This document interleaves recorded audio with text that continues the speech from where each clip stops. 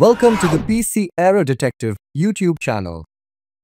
In this video, we will walk you through the steps on how to set auto change wallpaper in Windows 10.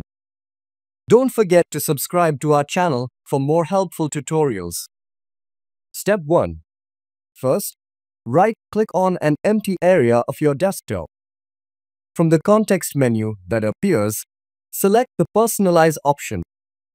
Step 2.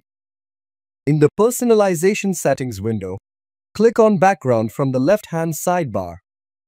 This will open the background settings. Step 3. Under the Background settings, choose Slideshow option. Step 4. Locate the option labeled Choose Albums for your slideshow. Click on Browse and select the album for your slideshow. Then click on Choose this folder. Step 5. Under Change Picture, every select one day. You can also adjust colors for the background. And that's it.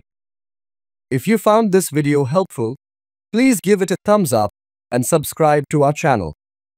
Thanks for watching and see you in the next video.